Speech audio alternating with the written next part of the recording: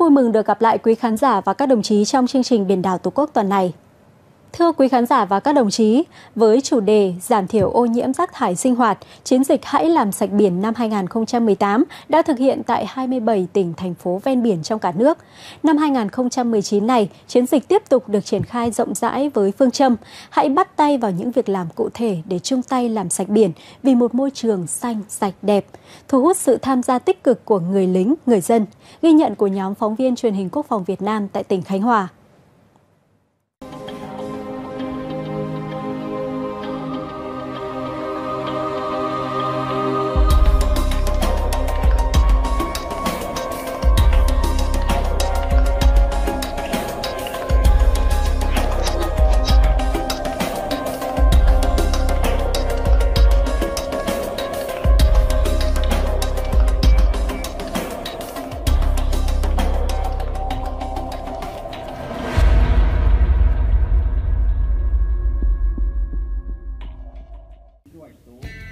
Một trong những hoạt động thiết thực, trọng tâm của vùng 4 Hải quân hưởng ứng chiến dịch Hãy làm sạch biển năm 2019.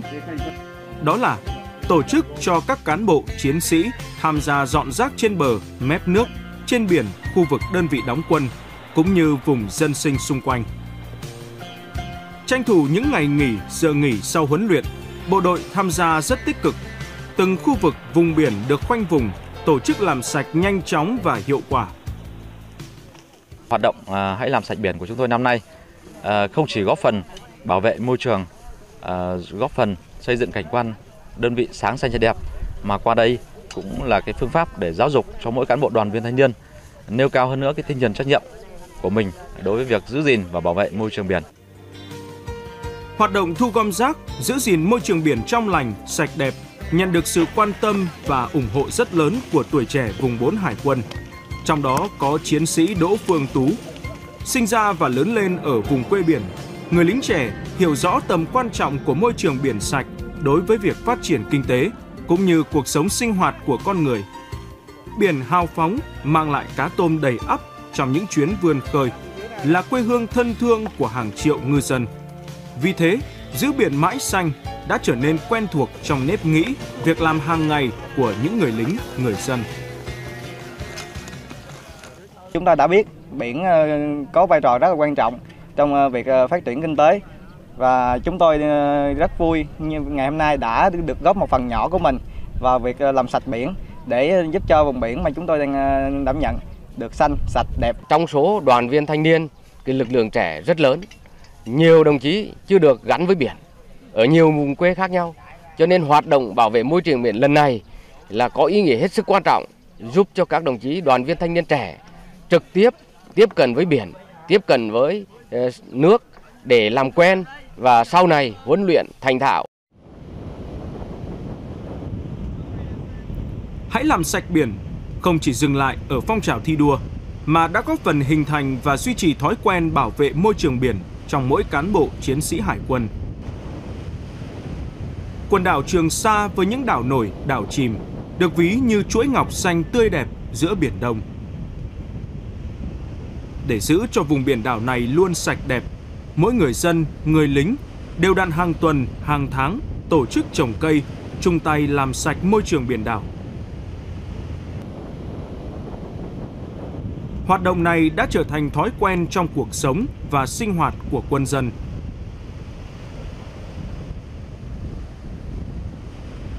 Vì thế mà ngoài đảo xa đã trở nên thật gần gũi như quê nhà trong không gian của hàng xưa, dãy bàng vuông hay những vườn rau xanh tốt. Người lính luôn cố gắng hòa mình vào thiên nhiên, bảo vệ môi trường từ những việc làm nhỏ nhất. Đảo xa mà trong mát, đầm ấm chẳng khác quê nhà.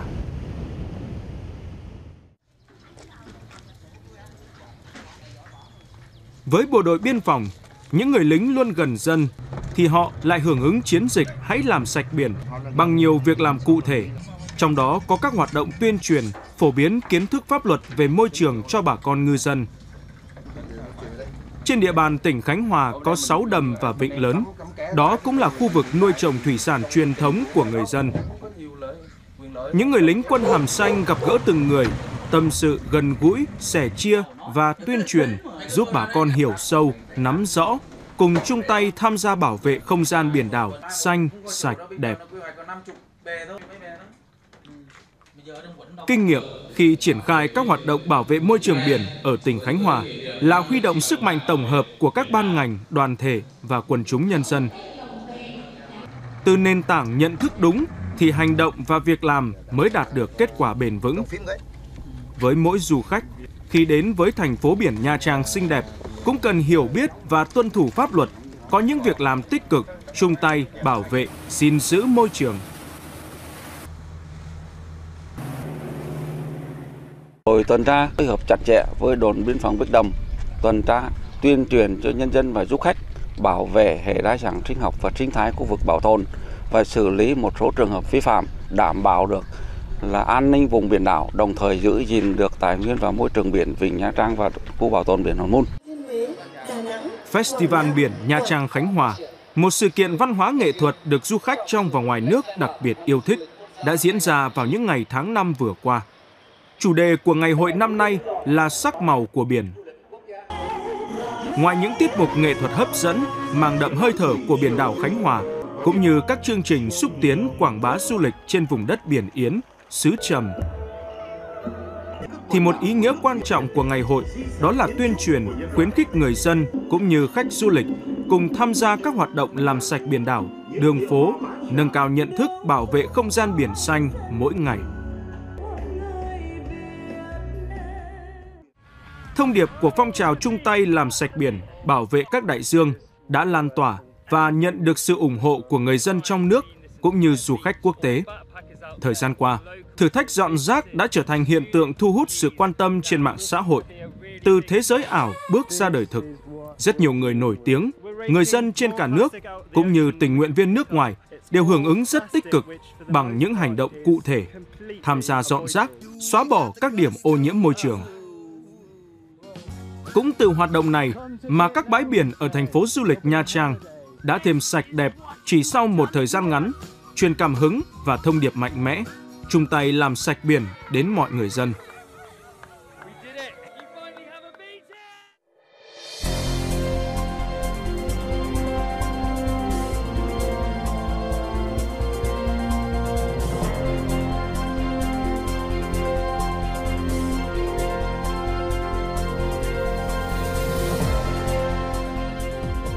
Việt Nam có nhiều bãi biển được các tạp chí du lịch uy tín trên thế giới đánh giá cao về vẻ đẹp tự nhiên cũng như tiềm năng phát triển ngành du lịch không khói bền vững.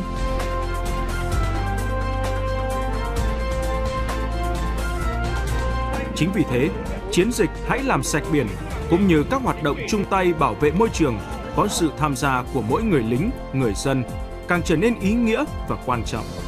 Khi chúng ta đều hướng về biển đảo Tổ quốc cùng nhau làm sạch biển thì biển sẽ luôn tươi đẹp, thanh bình trong trái tim mỗi người.